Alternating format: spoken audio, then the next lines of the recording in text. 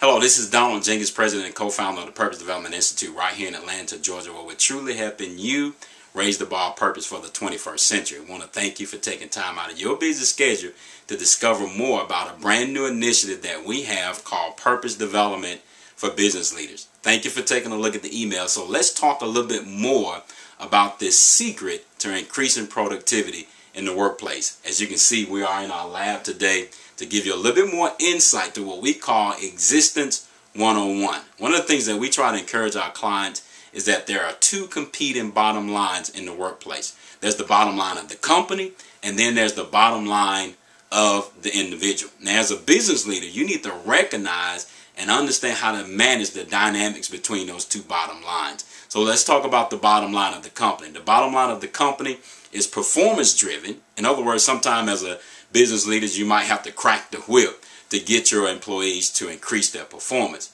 But one thing you must realize is that the bottom line of the people is what we call existence driven. In other words, people want to have a sense of meaning and understanding and appreciation for their work. And that's what we call existence 101. That's their bottom line. They want to be in an environment that pretty much values their performance, that values their existence. We call it an appetite for purpose. So, in other words, an organization nowadays in the 21st century have to master the techniques of how to feed that appetite for purpose. Because when you understand how to feed that appetite for purpose, you increase the bottom line of that person.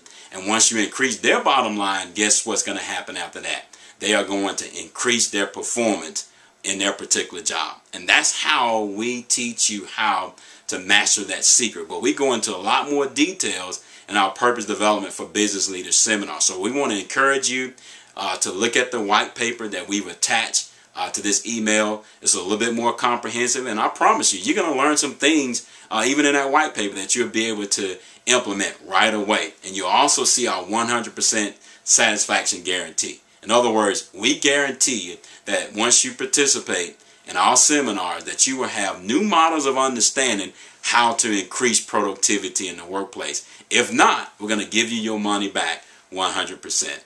So again, I appreciate your time and I look forward to being able to connect with you and also share this insight with you on how to increase productivity in the workplace. I look forward to speaking with you soon.